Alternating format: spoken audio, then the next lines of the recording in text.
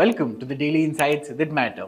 FPIs have been investing extensively in Indian equities to the tune of 23,152 crore rupees in May so far, making it reach a six month high. This is on the back of strong macroeconomic data and a good earning season. Let's discuss this.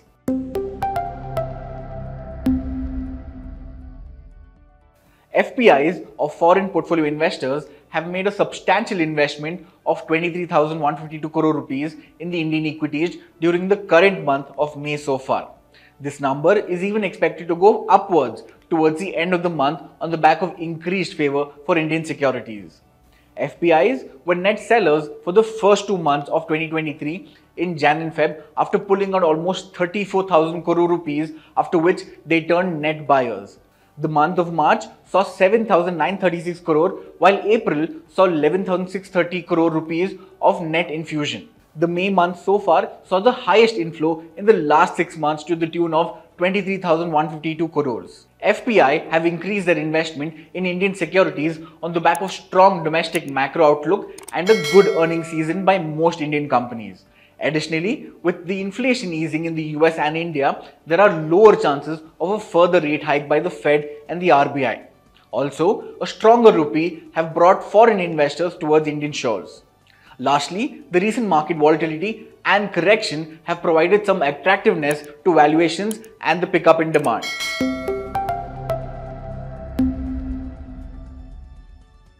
Inflation has been above the RBI's upper tolerance limit of 6% since January 2022, which also pushed RBI to adopt an aggressive rate hike cycle from May 2022 to February 2023. However, consumer prices in India are showing further signs of moderation. In April, India witnessed a significant drop in retail inflation, with the rate declining from 5.66% in March to 4.7% in April. This is a special occurrence as it marks the first time since November 2022 that inflation has dipped below the 5% mark. Similar to the preceding two months, a favorable base effect played a crucial role in driving the substantial decline in inflation. However, there were also visible signs of price momentum easing in certain components of the consumer price index basket. The indices for eggs, edible oils and cereals falling on a month-on-month basis among food items. In April, retail inflation took a pleasing plunge to its lowest point in a year and a half thanks to the combination of a favorable base effect and a gentle dip in certain food prices.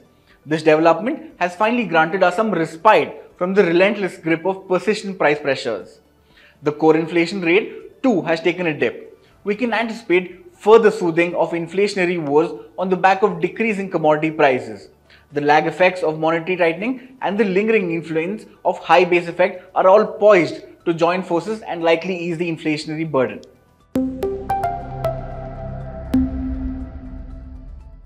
What does all of these news mean for you? Inflation is on a downward trajectory and it could be further eased by the lag impact of monetary tightening and high base effect. This will have an indirect positive impact on you. The increased interest by foreign investors is a positive development for the Indian economy. This goes in hand with India being an emerging market destination due to its strong macroeconomic conditions. This will have a direct positive impact on you. While I say this, this is me Rahul Hassan signing off. Have a great day and stay safe. Did you like watching this video? Then download our app Informed InvestoRR to watch more such informative and interesting videos.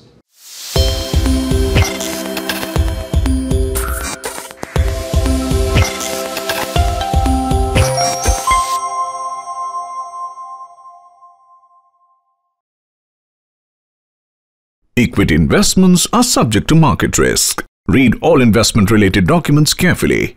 Visit www.researchandranking.com